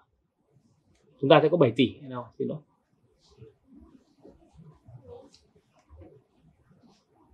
Bao nhiêu đây? 7 tỷ 7 7 tỷ 9 7 tỷ 9 đúng không ạ? Nhưng giả sử nếu như mà chúng ta gửi tiết kiệm mà chúng ta cũng gửi đều như này gửi đều hàng năm này lãi suất chỉ 7 phần trăm thôi. Thì tại thời điểm đấy chúng ta về hưu có bao nhiêu tiền đây? 3 tỷ 7 3 tỷ 7 đấy tức là chênh 3 phần trăm trong khoảng 30 năm thì nó là một con số rất là khủng khiếp. Ừ. nhưng mà nếu như mà tiếp tục giả sử chúng ta vẫn hàng 10 phần trăm ạ thì giả sử lúc đấy thì một hàng năm sẽ có một cái số tiền về cho chúng ta ví dụ như là đây là khoảng à, bao nhiêu đấy? Hai 299 triệu. 300 triệu. 300 triệu. 300 triệu. Một năm. 300 triệu một năm chia đều ra là cũng được khoảng à, trên 12 là khoảng 20 mấy triệu. Mấy triệu. 20 triệu một tháng. Ừ. ừ, con số khá là khá là tốt. Đúng rồi. và nếu như mà đến chúng ta vẫn tiếp tục kéo dài thời gian đấy ra thì đến năm mà chúng ta 81 tuổi hay 90 tuổi thì cái cái cái cái giá trị tài sản chúng ta vẫn tăng lên. Đấy. Đấy thì tài sản chúng ta tăng lên là bao nhiêu đây? 10 42 tỷ à 42 tỷ và cái mức lương hàng năm chúng ta là 1 tỷ 9 1 tỷ 6 1 tỷ 6 chia đều ra cũng là khoảng à, 1 tỷ mấy một tháng. Tức là Chấm nó mấy- hoàn toàn có thể Chấm mấy bảo vệ được Trăm mấy triệu. Chấm mấy triệu một tháng sống thoải mái rồi. Bảo vệ được mình trước cái rủi ro lạm phát. Ừ. đấy thì đây là một cái điểm mà chúng tôi nhận thấy rằng là nếu như mà ok mọi người có thể đầu tư vào những dạng loại hình như kiểu như là à, gửi tiết kiệm đều hàng tháng vẫn tạo ra một cái số tiền nhất định nào đó. Nhưng mà nếu theo thời gian ấy thì con số đấy rất là thấp so với cả việc mà quý vị đầu tư vào các quỹ- đầu tư mà lãi suất nó cao lên. Mà chỉ cần tranh khoảng một hai phần trăm là một con số rất là lớn. Thì đấy là một cái cái đặc điểm mà tôi nghĩ rằng là quý vị nhà đầu tư cần phải xem xét khi mà cái lập kế hoạch cho chính mình. Cái này là anh Tuấn đang ờ, giới thiệu và nó có cái lãi kép ở trong này. Đúng không đúng rồi thì đây chính là lãi kép đấy. Lãi kép hàng năm mà chúng ta kỳ vọng lãi kép là 10% đây. Và lạm phát là 4% đây đấy thì mọi người sẽ thấy con số vừa nãy tôi vừa mới nhìn tới con số 10% con số 7% của ờ, tiết kiệm. Thông thường thì khi mà tôi có nói chuyện với một số các anh chị em bạn bè ấy, thì là nếu như đầu tư chúng ta chỉ cần 10% thôi bảo 10% với 7% chứ nhau 3% thì đáng kể gì đâu. Đấy đa phần mọi người là đều tư duy thế. Nhưng nếu nhìn một năm thì đúng là 100 triệu thì chúng ta một cái là 10 triệu một cái ra là 7 triệu thì trên nhau cũng có vẻ không nhiều lắm. Nhưng nếu như nhìn dài ra thời gian khoảng 30 năm thì con số cực kỳ lớn nếu như kéo dài đây là đến 90 tuổi nữa là thêm 60 năm, con số cực kỳ lớn luôn thì đấy là cái quan điểm tôi là chúng ta nên chọn loại hình mà có cái cái độ rủi ro nó ở mức vừa phải và cái lợi suất ở mức rất là khá Vậy thì qua cái bức tranh mà anh Tuấn vừa nói thì chúng ta thấy được cái sức mạnh của lãi kép. Nếu như mà mình xây dựng cái quỹ về hưu của mình càng sớm thì đến khi mà về hưu thì mình sẽ có một cái khoản thu nhập ổn định đúng không Cái đấy thì có thể nói đến là quy tắc của 254 đúng không? đúng rồi ạ. Thì khi mà chúng ta anh Tuấn có thể giải thích về cái quy tắc 254 đấy. à, quy năm hai quy tắc 25 4 10 đúng không ạ là ví dụ như ờ, ờ, chị Viên đây có mức thu uh, mức tức là cái 25 25 tức là 25 lần thu nhập 25 lần chi tiêu ví dụ như là chị Viên một năm chỉ cần khoảng 100 triệu để chị đủ mức chi tiêu hàng hàng tháng Ờ, ờ, thì cái số tiền chị cần phải có trong tài sản đó là 25 lần của 100 triệu tức là khoảng 2 tỷ rưỡi. Và 2 tỷ rưỡi này thì mỗi năm chỉ cần rút 4% ra. Ví dụ như là chị Duyên bắt đầu có 2 tỷ rưỡi trong tài khoản và rút 4% là tương đương vừa tròn một 100 triệu luôn. Nhưng mà sang năm ấy cái này cái giá trị đấy vẫn tăng trưởng 10% tức là con số 10 chính là 10% thì ví dụ là 2 tỷ rưỡi tháng năm mà tăng trưởng thêm là 10% là được thêm 250 triệu. Thì chị Viên lại bỏ 100 triệu ra để tiêu hoặc là 150 triệu nữa lại tiếp tục đập vào gốc để để sinh ra lãi. Thì sang năm, cái mức chị Viên được không phải là 100 triệu nữa. Nếu mình vẫn tiếp tục rút ra 4% thì sang năm chị Viên không phải rút, không phải là tiêu 100 triệu nữa. Mà chị Viên tiêu là 106 triệu. Đúng không ạ? Tức là nó vẫn tăng trưởng mà nó đảm bảo được toàn bộ lạm phát hàng năm mà mình bị dính là có thể, mình có thể phòng bệnh sức mua lạm phát. Nói đơn giản như trong đời dịch dịch covid 19 này, thì vợ tôi lúc nào cũng nói rằng là lần này giá cả leo thang kinh quá. Tiêu tiền veo cái đã hết. Đấy đấy đấy là một điểm mà cái sản phẩm có thể thì cái quy tắc này của mình ấy, có thể giúp mình là à sang năm lạm phát tăng gì thì tôi đã có tiền lương tăng lên để bù lạm phát. Đấy là mục tiêu của sản phẩm này. Và quý vị nhà tư có thể vào trang tích sản vinrect com vn thì đây là trang mà đã xây dựng cái cái công cụ để à, quý vị à, lập kế hoạch cho chính mình. Ừ như anh Tuấn nói về chia sẻ về quy tắc là 254 ấy, thì đến khi nhà đầu tư tích nhà đầu tư tích sản được cái quỹ hưu trí của mình rồi thì đến khi mà về hưu mình sống đến lúc chết mình cũng không bao giờ lo hết tiền hết cái khoản tiền hưu trí của mình. Vâng. Vậy thì uh, chúng ta có thể tổng kết lại bằng một video để nói về cái cách giải pháp cho nhà đầu tư có thể tham khảo. Đó là tôi cần bao nhiêu để có một quỹ hưu trí? Hợp lý. Xin mời uh, quý nhà đầu tư đón xem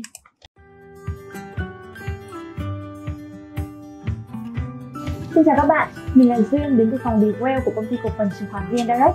Trong video ngày hôm nay, chúng ta sẽ cùng nhau tìm hiểu tôi cần bao nhiêu để có thể tự chủ tài chính hay nghỉ hưu Rất hy vọng là sau video này, các bạn sẽ có thể xác định được số tiền để dành cho việc nghỉ hưu của mình và hãy comment ở dưới video này để có thể nhận được tư vấn trực tiếp từ chúng tôi. Để bắt đầu tính toán số tiền cần thiết, đầu tiên chúng ta cần tính được số tiền cần chi trong vòng một năm. Ví dụ như tôi đang sống ở Hà Nội thì mức chi tiêu để sống một cách đơn giản một tháng cần khoảng 10 triệu, tương đương với một năm cần khoảng 120 triệu. Sau khi xác định được mức chi tiêu một năm, bạn có thể sử dụng nguyên tắc 4% của Bob Dr. đưa ra dựa trên nghiên cứu của William Benjamin.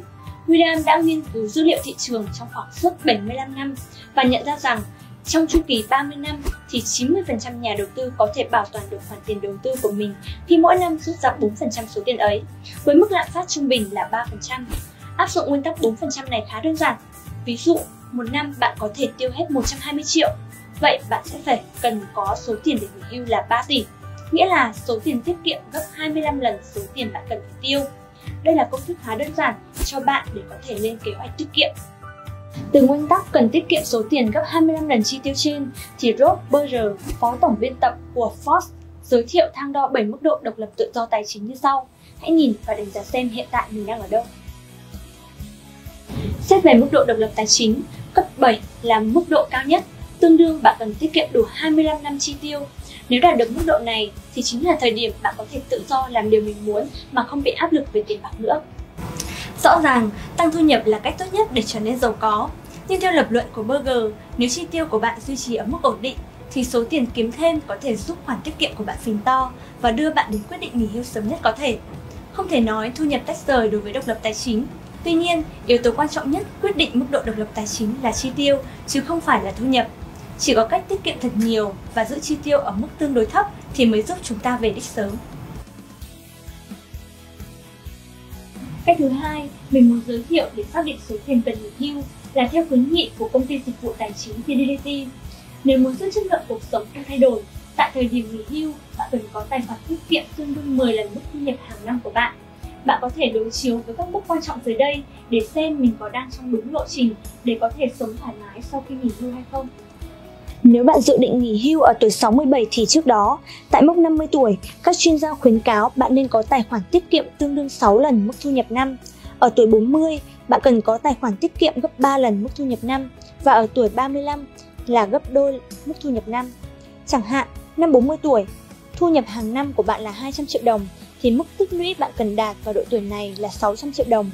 Năm 50 tuổi, thu nhập năm của bạn là 300 triệu đồng, mức tích lũy của bạn cần khi đó là 1,8 tỷ đồng. Con số này dao động tùy thuộc vào bạn muốn lúc về hưu sống khắc khổ hơn hay sướng hơn khi còn đi làm. Chẳng hạn, nếu bạn muốn sau khi nghỉ hưu được đi du lịch nhiều hơn, bạn cần tăng mức tích lũy đó ở các cấp độ lên 1 đến 2 cấp. Ngược lại, khi nghỉ hưu bạn chấp nhận sống hà tiện hơn, mức tích lũy có thể giảm đi một chút, con số này không phải là ít. Vậy làm sao bạn đạt được ngưỡng đó? Các chuyên gia của Fidelity khuyên bạn nên càng tiết kiệm càng nhiều càng tốt càng sớm càng tốt. Họ đề xuất bạn dành 15% thu nhập hàng năm bắt đầu từ tuổi 25 và đầu tư hơn 50% số tiền tiết kiệm của bạn trong suốt cuộc đời. Vậy là bạn đã đang đi đúng hướng.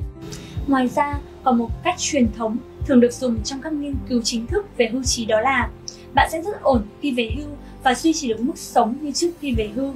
Nếu bạn có khoản thu nhập sau hưu trí tương đương 60 đến 70% mức thu nhập trước khi nghỉ hưu, tức là nếu bạn thu nhập 300 triệu đồng trên một năm thì bạn cần lập kế hoạch tài chính để đảm bảo bạn sẽ có khoản tiền từ 180 đến 210 triệu đồng trên một năm khi nghỉ hưu. Như vậy, chúng mình đã giới thiệu với các bạn ba cách để có thể xác định được số tiền cần có khi về hưu. Sẽ chẳng bao giờ là quá sớm để bắt đầu một kế hoạch. đặc biệt là kế hoạch để chủ động lựa chọn thời điểm độc lập tài chính. Có thể ban đầu có một chút khó khăn với bạn, thậm chí là thách thức khi bạn còn trẻ mà đã chuẩn bị cho việc về hưu. Nhưng khi cuộc sống càng ngày càng có nhiều những thách thức, việc tạo cho mình sự chủ động, nhất là chủ động về mặt tiền bạc là một việc cần thiết và hữu ích. Chúc các bạn thành công và đừng quên để lại thông tin, chúng mình sẽ tư vấn trực tiếp cho những bạn may mắn nhất. Đó là cái video để có thể giúp quý nhà đầu tư có thể trả lời cho câu hỏi là tôi cần bao nhiêu để có thể nghỉ hưu sớm. Và cũng qua cái chia sẻ của anh Tuấn và anh Quang và chị Mai thì chúng ta cũng thể có thể thấy được là cái kế hoạch dự phòng và kế hoạch hưu trí là rất cần thiết trong cái kế hoạch tài chính cá nhân của mình vậy thì chúng ta sẽ ngoài ra thì nhà đầu tư muốn tìm hiểu về cái cách tính là cái về cái tỷ lệ lãi kép và cái số tiền sau khi mình về hưu thì có thể lên trang tích sản vndirect com vn để có thể tham khảo và phần tiếp theo chúng ta sẽ vào phần câu hỏi của nhà đầu tư Đây. Ờ, câu hỏi thứ nhất mà quý nhà đầu tư có gửi đến cho các ờ, chuyên gia của chúng ta đó là Tôi nghe nói là mức lương hưu nhận được sẽ được tính bằng tỷ lệ trên tiền lương đóng bảo hiểm thì nó có tính thêm mức bù lạm phát hay không? Không có. Thì câu này xin mời chị Mai. À, cái uh, lương hưu hàng tháng thì sẽ bằng là tỷ lệ hưởng lương hưu nhân với cả mức bình quân tiền lương trên thu nhập đóng bảo hiểm xã hội tức là nó là cái tất cả những cái quá khứ và nó sẽ không được tính theo lạm phát cái câu hỏi thứ hai của quý nhà đầu tư có gửi đến đó là sản phẩm hưu trí của VN Direct đóng tối thiểu mỗi tháng là bao nhiêu và phải đóng trong thời hạn bao lâu? Thì uh, sản phẩm hưu trí VN Direct thì ờ, cái con số tối thiểu là khoảng 1 triệu một tháng và cái số năm mà mình lựa chọn thì như tôi trình bày nó là con số khá linh hoạt. Ví dụ như năm nay tôi muốn dự kiến lập một kế hoạch trong khoảng 10 năm tới thì sẽ đặt cái năm mà chúng tôi ờ, năm mà bạn dự kiến là để tích lũy là trong 10 năm tới ví dụ năm 2030 và bắt đầu từ ờ, ngày 1 tháng 1 năm 2031 là tiền bắt đầu chuyển ra lại cho khách hàng. Đó. Ờ, có một câu hỏi mà đặc biệt là gửi cho chị Mai luôn. Đó là um, đó là đứng trên góc độ quản trị nhân sự thì chị Mai cho em hỏi em nên chuẩn bị những gì để có thể không bị thất nghiệp hoặc thăng tiến trong những lúc khó khăn. Có làm gì để không bị thất nghiệp à? Cái cái này thì thực ra nó nó hơi khác với cả cái cái cái buổi topic của ngày hôm nay một tí. Tại vì nó sẽ liên quan đến phần năng lực của bạn những cố gắng của bạn như thế nào. Uh, mình thì theo mình với cả với vai trò là của một người làm nhân sự thì mình nghĩ rằng là cái đó là phải chính bạn phải trả lời câu hỏi đấy. Ừ. chứ không có ai có thể trả lời hộ bạn được câu hỏi đấy. Bởi vì là đi làm việc ở đâu thì các bạn cũng sẽ biết rằng là người sử dụng lao động họ cần gì họ mong muốn gì. Và mình đáp ứng được họ trên cái năng lực của mình như thế nào mình đóng góp được những cái gì. Đó là cái điều kiện tiên quyết để mà bạn có thể giữ vững được cái vị trí của mình ở trong công ty. Và chưa kể là khi mà bạn có tiềm năng thì bạn lại còn có cơ hội để phát triển nữa. Vâng cảm ơn chị Mai. À, có một bạn có câu hỏi gửi đến các chuyên gia đó là cảm ơn các chuyên gia. Tôi có thể mua tích trữ cổ phiếu để cho việc nghỉ hưu được không? Và nếu có thể thì tôi nên mua loại cổ phiếu nào? Ừ, xin mời các chuyên gia câu hỏi này. À, nếu như chúng ta tích tích trữ cổ phiếu hoàn toàn thể được nhưng mà có điều rằng là cái này thì cần uh, uh, cần à, nhà đầu tư phải có một kiến thức tài chính khá là đủ sâu và rộng. Mới biết được rằng là cổ phiếu này là cổ phiếu tốt hay cổ phiếu này cổ phiếu không tốt. Và thứ hai nữa là cái quan trọng nhất là thay vì đầu tư một cổ phiếu thì nhà đầu tư nên phải tích lũy khoảng đâu đó, tức là một cái rổ cổ phiếu. Thông thường là theo khuyến nghị phải từ 10 30 cổ phiếu mới là đạt được độ an toàn. Tất nhiên thì à, khi mà khi mà đi qua quỹ hưu trí thì ừ, trong cái phần đó thì bên các chuyên gia của VNDirect ấy, đã thực hiện cái việc mà lựa chọn cái quỹ đầu tư mà nó hiệu quả nhất và cũng có cái tiếng nói để đối với cả các chứng chỉ quỹ đấy tức là các công ty quản lý quỹ đấy là hỗ trợ một phần ở ví dụ phí mua vàng sao nó rẻ nhất có thể. Thay vì quý vị có thể tự mua thì cái cái phí nó sẽ đắt hơn. Thì đấy là cái đấy là cái lời câu trả lời của tôi. Theo mình bổ sung thêm một tí nữa là Ờ, bởi vì cái cái ờ, cái cái tài sản lúc hưu trí nó, nó rất là quan trọng đúng không ạ? Nếu mà chúng ta không quản lý cẩn thận thì hoàn toàn có thể rơi vào bi kịch vì lúc đó là cơ hội sửa sai rất thấp. Cho nên là chúng ta nên cân nhắc uh, sử dụng những cái gói dịch vụ của những cái công ty uh, như VNRX uh, có đội ngũ chuyên gia. Vì cái điều quan trọng nó không phải là kiểu mua cổ phiếu nào mà nó là cái cái tư duy phân bổ tài sản để nó phù hợp với cái độ tuổi của bạn bạn còn bao nhiêu năm vân vân các loại. Và trong đó thì nó lại phân bổ rất là phù hợp là bao nhiêu vào quỹ uh, trái phiếu bao nhiêu quỹ cổ phiếu để đảm bảo rằng là chúng ta có một cái tỷ lệ uh, hợp lý để mà mình tạo ra một cái dòng thu nhập phù hợp với cái rủi ro của bạn. Thì nó tốt hơn là, là bạn cứ mày mà đi mua cổ phiếu. Và rất nhiều trường hợp là bị mất hết toàn bộ cái số tiền tiết kiệm cực kỳ thực ra nhiều. không biết là là câu hỏi của gọi là quý đầu tư đấy thì là người thường xuyên có hay hay hay đầu tư vào cổ phiếu hay không ấy. nhưng mà với với một người như mình ấy, thì mình thấy là sẽ rất mệt mỏi. Đúng rồi. Bởi vì lúc nào mình cũng mình sẽ thấp thỏm với cái chuyện là cổ phiếu lên xuống. Thế còn nếu giả sử như là có những cái, những cái sản phẩm mà mình biết rõ chắc chắn rồi mình yên tâm rồi thì mình sẽ không bị cái tâm lý đó. Thế còn nếu mà để mà gọi là là tích lũy làm hưu trí cho cái việc đó thì mình nghĩ là nó cũng hơi rủi ro. Ờ, và một câu hỏi nữa của bạn đó là em làm nghệ tây bán hàng tự do và em không đóng bảo hiểm xã hội nhưng mà em muốn sau có tiền lương hưu và có một ờ, nguồn thu nhập để dưỡng già thì em có thể làm gì trong trường hợp này đó thì ờ, bạn ờ, đầu tư vào có hoàn toàn thể đầu tư vào hưu trí đúng rồi đó. đúng rồi và Ừ. sản phẩm hưu trí này thực ra là cái cái cái phân bổ tài sản của họ là của cái sản phẩm này cũng là dựa trên các quỹ đầu tư mà tốt nhất trên thị trường ừ. và được lựa lựa chọn phân bổ làm sao cho nó cái rủi ro mà giảm giá của cổ phiếu là của cái tài sản ấy là thấp nhất có thể. Thì đấy là cái đặc điểm của phẩm hưu trí này. Và rất là phù hợp với cả các bạn mà hiện tại chưa có cái cái kế hoạch tài chính cái kế hoạch hưu trí cho chính mình. Không không thuộc đối tượng mà kiểu công ty trả tức là các cái Vâng. chương trình social insurance. Đấy, vâng. làm cái tự nguyện như này hay nhất. Vâng đúng phù hợp và cực kỳ linh hoạt. Vâng. Và đến một câu hỏi cuối cùng mà có lẽ là quý nhà đầu tư cũng rất là quan tâm đó là ờ, mức thu nhập của họ còn thấp chỉ đủ cho chi phí sinh hoạt thì họ làm gì để họ có được tiền đầu tư vào quỹ lương hưu của VN Direct? Này có thể. Ừ, thật ra là thật ra là cái chương trình uh, tích sản hưu trí của VNREX á, nó cực kỳ linh hoạt và và và chúng ta ở bất kỳ số tiền nào đúng không ạ? Ví dụ như một triệu là hoàn toàn có thể tham gia được cái chương trình này rồi đúng không Tuấn nhỉ? Dạ, đúng đúng không ạ? Đấy, thế thì chẳng lẽ từ cái thu nhập của bạn mà bạn không có thể gọi là trích ra được một triệu để tham gia chương trình này à, đúng không? Ạ ngoài ra thì um, mình cũng hoàn toàn hiểu cái cái việc này. Giống như trong cái slide mà nãy mình chia sẻ về không phải chỉ Việt Nam đất nước nghèo như này đâu mà đất ngay nước nước Mỹ đúng không ạ? Thu nhập bình quân đầu người của họ là năm mươi mấy ngàn đô so với mình là ba ngàn đô đúng không? Mà còn rất nhiều người là không có saving. Thì Việt Nam mình hoàn toàn có rất nhiều trường hợp như vậy. Thì mình cho rằng là à, chúng ta nên à, có một cái kế hoạch tài chính chúng ta nên làm một cái tài chính tổng thể mà bên phía VNREX hoàn toàn thể hỗ trợ các nhà đầu tư làm được. Bắt đầu từ những cái bước mình xác lập mục tiêu rồi mình rà soát các cái khoản uh, cân đối thu chi của mình mình nhận diện được. Rồi mình coi thử là cơ cấu tài sản của mình hợp lý chưa có phải là vì mình có quá nhiều tiêu sản quá nhiều khoản nợ dẫn đến là cái dòng chi đó nó quá nhiều dẫn đến là cân đối thu chi nó không có cái phần saving như vậy đúng không ạ? Thì nếu mà qua cái việc là lập một cái tài chính tổng thể chúng ta sẽ có một bức tranh toàn diện được. Ít nhất là mình biết được là mình đang tiêu cái gì quá nhiều mình có thể tiêu được hơn hay không thì từ đó tự nhiên bạn sẽ có cái tiết kiệm nhiều hơn vì kinh nghiệm của mình rồi. Có nhiều người bảo là không có saving nhưng mà khi mà mình làm cái tài chính họ là hóa ra thì họ không biết mục tiêu họ là gì cả. Và họ đang tiêu cực kỳ lãng phí và không tiêu. Khi mình làm lại phát là hoàn toàn có thể dành ra không chỉ có một triệu cho sản phẩm anh Tuấn đâu mà khi còn gấp 5, gấp 6 lần cái đó được hoàn toàn được hết.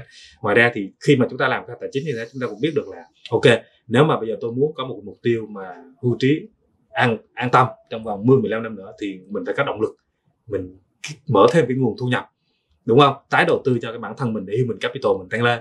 Đấy để mình có thể nâng được cái mức uh, thu nhập lương lên. Mà như nãy chị Mai nói rồi chính các bạn phải trả lời cho câu hỏi các bạn. Các bạn hiểu được là công ty người ta cần gì ở các bạn kỹ năng như nào thì bạn trên cơ sở là bạn nâng cao bản thân mình lên thì tự nhiên cái thu nhập nó tăng. Ngoài thu nhập từ lương thì chúng ta cũng cân nhắc thêm cả những nguồn thu nhập thụ động nữa. Thì như thế thì bạn sẽ hoàn toàn có thể thực hiện được cái kế hoạch hưu trí của mình. Như vậy thì à, sau buổi trao đổi chia sẻ của các chuyên gia ngày hôm nay thì à, quý nhà đầu tư có thể biết được cách để lập kế hoạch tài chính và mình có thể lên kế hoạch dự phòng, kế hoạch nghỉ hưu cho mình. Ờ, ngoài ra thì nếu như các bạn quan tâm thì có thể lên trang vndirect.com.vn để có thể tham khảo về sản phẩm hưu trí của VnDirect. Ờ, xin cảm ơn quý nhà đầu tư đã theo dõi trong buổi ngày hôm nay.